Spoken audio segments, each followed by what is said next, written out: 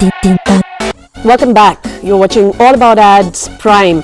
And what's an advertising show without ads? Now, this is a thought provoking creative pick of the week. Take a look.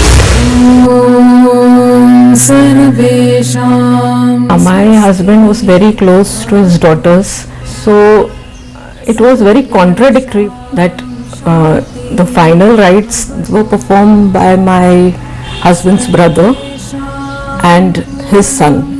I had been taking care of my father for the last eight years. When he passed away, there were a lot of questions about who will do the last ritual because I'm an only daughter. सर्वे भवन्तु सुखिनः सर्वे सन्तु निरामयः सर्वे भद्रा A cousin of mine can saunter on by and do the last rites because his qualification is his gender. And all of everything I've done is nothing because I'm a woman. तो लड़का करने से वो माँ बाप को गति मिलती है क्योंकि लड़का ही पहुंच बढ़ाता है और लड़की पराया धन Now, when I look back at it, it doesn't make sense because his entire family, his blood is standing right there, and somebody else took him away.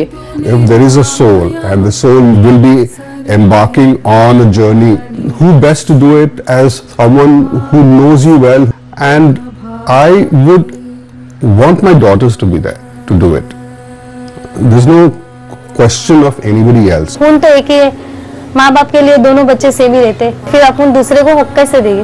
The idea behind this ad is actually nothing but gender equality gender equality seeps in in areas which we are not even aware about and this was one of them and it's so strange that women give birth to children why are they denied to participate in rituals of death What is it? My weakness is being a woman. A lot of um, incidents have had come to our notice where uh, women were not allowed to take part in the last rites of their parents. But in today's day and age, so many women look after their parents, not just financially but also physically.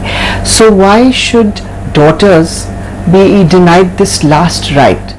सर्वे भद्राणि पश्यन्तु मा कश्चित् दुःखभाग् भवेत् Well, that's it on the show this week. Well, not quite yet, because we are going to leave you with some international ads for you to enjoy, and we'll, of course, see you same time, same place next week.